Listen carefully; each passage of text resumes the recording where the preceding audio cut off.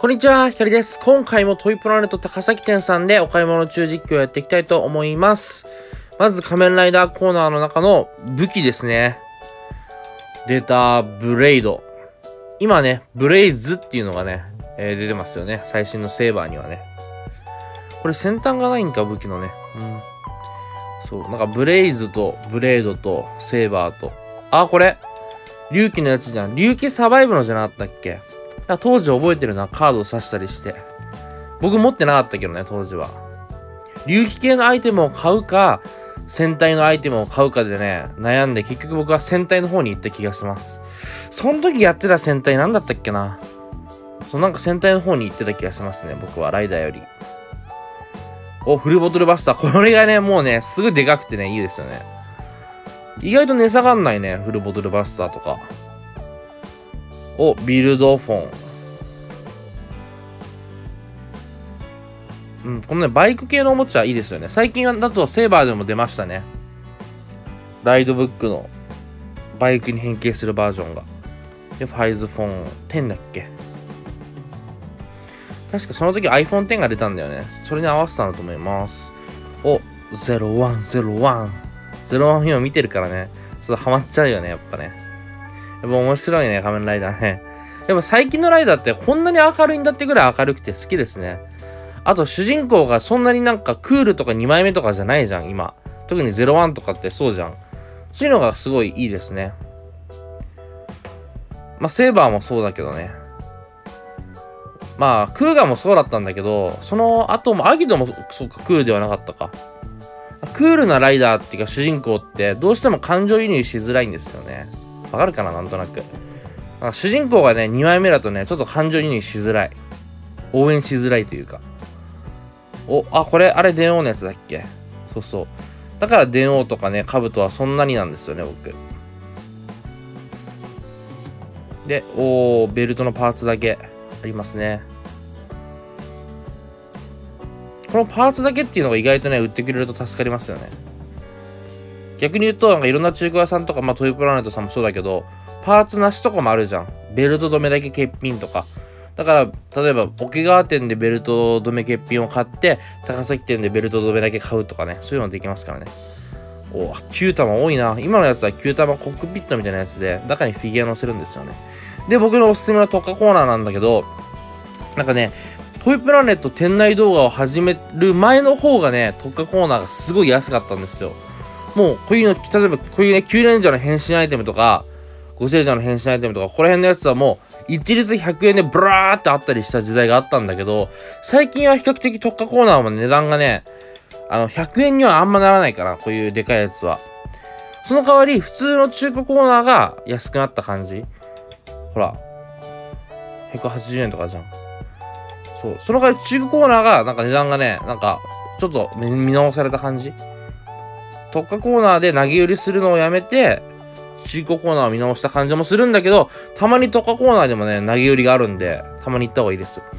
おここら辺レトロのおもちゃで、あれキングザウルスのセブンかな？後ろのやつ。で、ここにね、マスクマンとかいるんですよね。ジェットマンとか。これが状態がいいと思うんだよね。だからショーケースに入ってるって感じ。さすがに100円で売るには持ってないもんね。で、フリーロボ。あこれライブロボじゃないか。ライブロボじゃないか。この前。なんだっけ？この左のは10レンジャーだけど、真ん中はあれ？なんだっけ？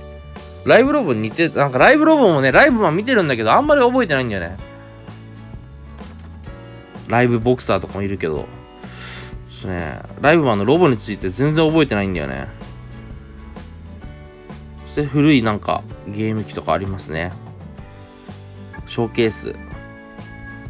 まあ、何回も言うようだけど、トイプラネットさんはね、ショーケースもそこまでバカ高くはない。まあ、もちろんね、あの、価値があるものはそれなりの値段はするけど、全部が全部高いわけじゃないんで、チェックするのもありかと思います。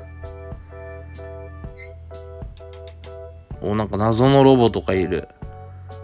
そしてここはね、スーパー戦隊のショーケース。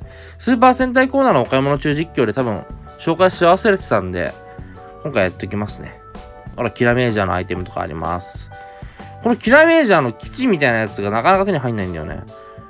で、おハリケンジャー、東映特撮 YouTube オフィシャルでもさ、そろそろハリケンジャー佳境に入ってきたよね。見なきゃ。武器付きだし、あの、ベイブレードみたいなやつもついてるからね。あのベイブレードの引くやつみたいなのもね。あれが大体ないからレアだと思います。で、ブラックのね、恐竜人もあって、オーラチェンジャーがある。オーラチェンジャー欲しいな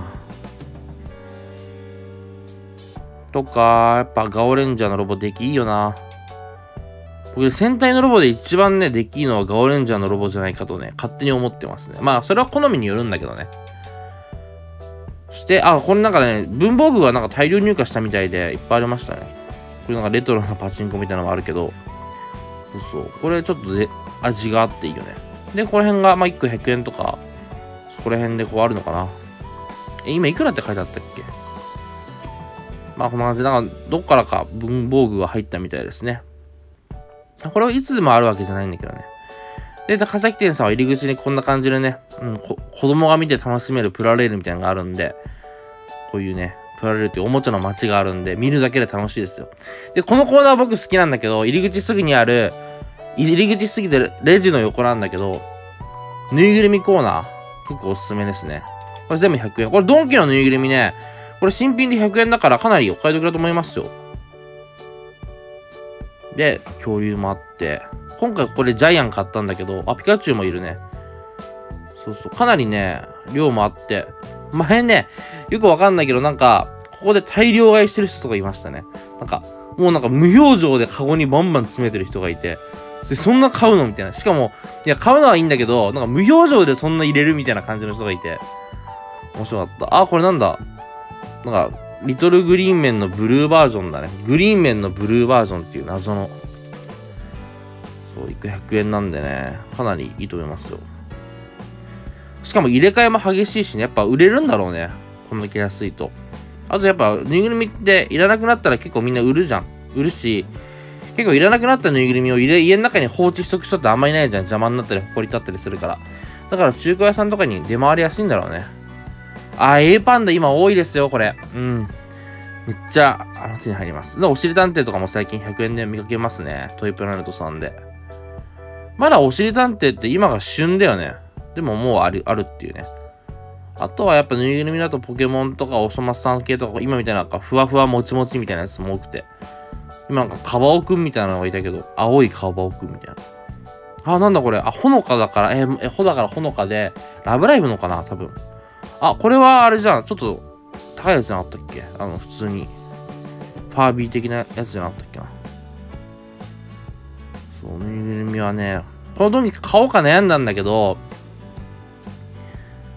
ねえ、ちょっとやめちゃった。てかやめちゃったっていうか、こっちにね、意識がいったんですよ、確か。ジャイアンが欲しくなったんですよね。あ、ジャイアンだと思って。宝島の時のジャイアンね。ドラえもんのび太と宝島ね。最近のやつですね。プライズだけどね。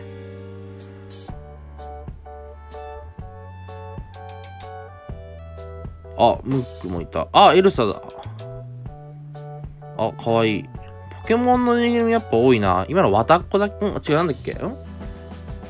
なんだっけ？まあ、最終進化だよね。3段階進化で、ポポッコ、羽根っこポポッコ、わたっこだっけ？あ、もう覚えてないわ。ちょっとごめん。忘れたかもしんない。あ、スーモの女の子バージョンのやつだ。昔買ったな、そういえば食玩で YouTube で紹介するために買った気がする。ジャイアンゲッチュそう購入品紹介はね、また別の動画でやってるんでね、そちらもぜひご覧ください。そしてこっちがね、280円とかのぬいぐるみコーナーですね。高崎店さんはこういう風に280円の280円で分かれてて、で、もっと高いのは、あの、前も紹介したけど、店内のかなり奥の方にあります。で、280円となるとやっぱりね、かなりでかくなりますね、急に。